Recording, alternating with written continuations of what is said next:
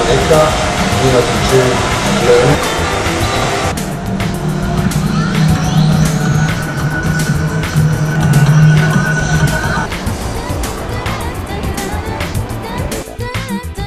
Katerina, you had your makeup done and some photos taken.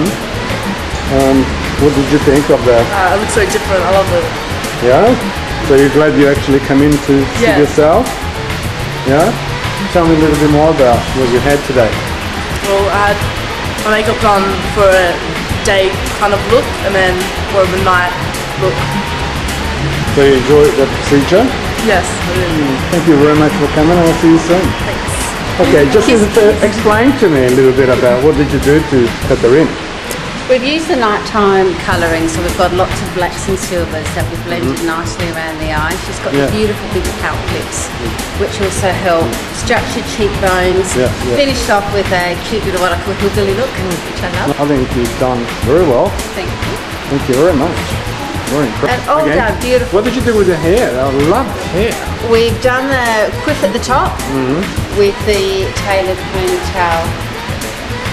And when you As told me something before about, you know, I was shocked how quickly you done, and you told me a little story.